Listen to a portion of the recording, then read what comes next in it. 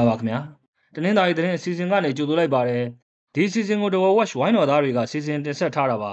ဒီနေ့ဖေဖော်ဝါရီလ23ရက်နေ့မှာဖြစ်ပေါ်ခဲ့တဲ့သတင်းအကြောင်းအရာတွေတဲကပထမဆုံးတင်ဆက်ပေးနေတာကတော့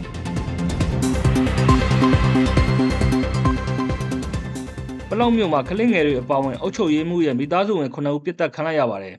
ပလောမြို့နယ်ပလောမြို့ကညောင်ရှင်ကုန်းရွာမှာ ကလေးငယ်တွေအပါအဝင်စစ်ကောင်စီကအုပ်ချုပ်ရေးမှုရဲ့မိသားစုဝင်9ဦးတနက်နဲ့ပြစ်တက်ခံလိုက်ရပါတယ်။ဖေဖော်ဝါရီလ17ရက်ညကလက်နက်ကင်လူတစုအုပ်ချုပ်ရေးမှုအိမ်ကိုရောက်လာခဲ့တယ်လို့ဆိုပါတယ်။အဲဒီနောက်မှာတော့တကားတွေဖွင့်ခိုင်းပြီးကလေးငယ်တွေအပါအဝင်မိသားစုဝင်အားလုံးကိုပြစ်တက်သွားတာပါ။အုပ်ချုပ်ရေးမှုရဲ့ဇနီးသမီးအပါအဝင်2နှစ်အရွယ်9နှစ်အရွယ်16နှစ်အရွယ်နဲ့18နှစ်အရွယ်မြေးတွေပါအသက်ခံခဲ့ရပါတယ်။အုပ်ချုပ်ရေးမှုရဲ့တမက်ကပြည်သူစစ်လို့ခေါ်တဲ့ပြည်စောတိတပ်ဖွဲ့ဝင်တဦးလည်းဖြစ်ပါတယ် ဒီတပ်ဖြတ်မှုကိုဘယ်အဖွဲ့ကလှုပ်ဆောင်တယ်ဆိုတာကိုတော့ထုတ်ပြန်ထားခြင်းမရှိသေးပါဘူး။မိတ်ခရိုင်တရင်တစ်ကတော့အခုလိုမိသားစုဝင်9ဦးအသက်ခံရတဲ့ဖြစ်စဉ်ဟာ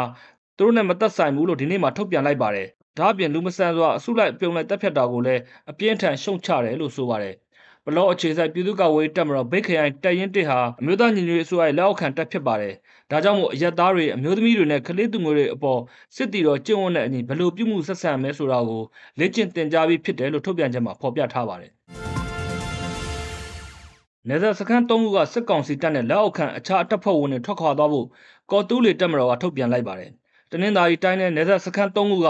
စစ်ကောင်စီတပ်နဲ့လက်အောက်ခံအခြားတပ်ဖွဲ့တွေဖေဖော်ဝါရီလ15ရက်မတိုင်ခင်ထွက်ခွာသွားဖို့ကော်တူးလီတပ်မတော်ကထုတ်ပြန်လိုက်တာပါ။စာကစောတိုင်းစစ်ဌာနချုပ်တနင်္သာရီတိုင်းနယ်မြေထဲမှာရှိတဲ့စစ်ကောင်စီနယ်စပ်စခန်း၃ခုကစစ်ကောင်စီတပ်နဲ့လက်အောက်ခံအခြားတိုင်းရင်တပ်ဖွဲ့တွေထွက်ခွာသွားဖို့မနေ့ကထုတ်ပြန်လိုက်တာပါ။ကော်တူးလီတပ်မတော်ရဲ့ထုတ်ပြန်ချက်မှာအမိန့်ထုတ်ရတဲ့အကြောင်းအရာ6ခုကိုဖော်ပြထားပါတယ်။ သူတို့ထိန်းချုပ်နယ်မြေထဲမှာတပ်ဆွဲထားတဲ့စစ်ကောင်စီတပ်ကပြည်သူတွေကိုနှောက်ယှက်တာနဲ့မိုင်းထောင်တာတွေလုပ်နေတယ်လို့ဆိုပါတယ်။ဒါ့အပြင်စစ်ကောင်စီနဲ့ပူးပေါင်းနေတဲ့အဖွဲ့အစည်းတစ်ခုက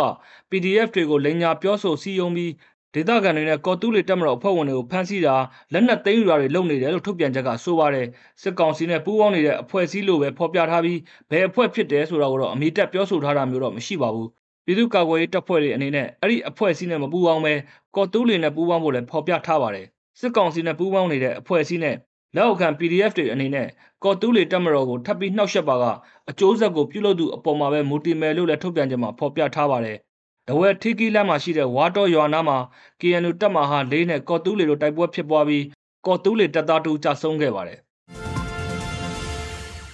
ရန်ကုန်တဝဲပြည်တော်စုလမ်းပေါ်တိုက်ပွဲဖြစ်ပြီးယာယီလမ်းပိတ်သွားပါတယ်။ရေဖြူမြို့နယ်ရန်ကုန်တဝဲပြည်တော်စုလမ်းမပေါ်မှာမနေ့ညနေကတိုက်ပွဲဖြစ်ပွားပြီးလမ်းကိုယာယီပိတ်ထားခဲ့ပါတယ် စစ်ကောင်စီတပ်နဲ့ပြည်သူ့ကာကွယ်ရေးတပ်တို့တိုက်ပွဲဖြစ်ပွားခဲ့တဲ့အတွက်ရန်ကုန်ဘက်ကလာတဲ့ကားတွေကို25မိုင်မှာစစ်ကောင်စီတပ်ကပိတ်ထားတာလို့ဆိုပါတယ်။ဒဝယ်ဘက်ကသွားတဲ့ကားတွေကိုတော့19မိုင်ဝန်းကျင်မှာဖြတ်တန်းခွင့်မပေးဘဲလမ်းပိတ်ထားတာလို့ဆိုပါတယ်။တိုက်ပွဲဖြစ်ပွားတဲ့နေရာနဲ့မိုင်နှဲငယ်အကောင်မှာတော့စစ်ကောင်စီတပ်ရဲ့စစ်ဆေးရေးကုတ်ကဲမှုဌာနချုပ်စကခ8လက်အောက်ခံထင်းမြန်တပ်ရင်းတွေရှိပါတယ်။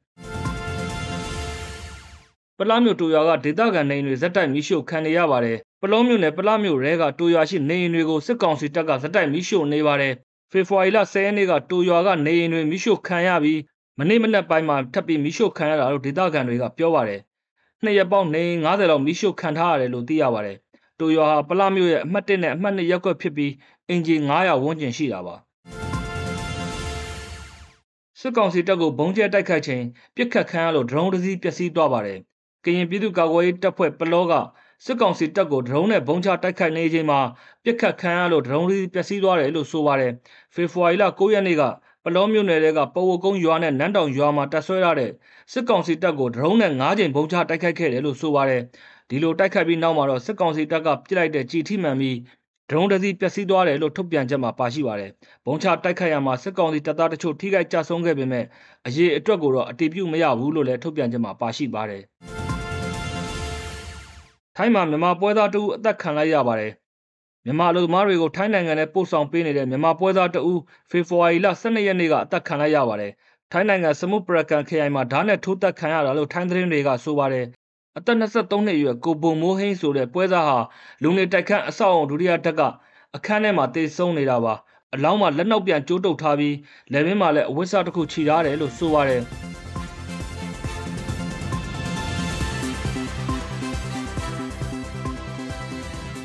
အခုလိုနားဆင်ပေးတဲ့အတွက်ကျေးဇူးအထူးတင်ရှိပါတယ်မြန်မာနိုင်ငံသူနိုင်ငံသားများကပ်ဘေးပေါင်းကအများဆုံးလွတ်မြောက်ပါစေလို့ဒဝဲဝက်ဝိုင်းတော်သားတွေကစုမုံကောင်းတောင်းရပါတယ်ခင်ဗျာ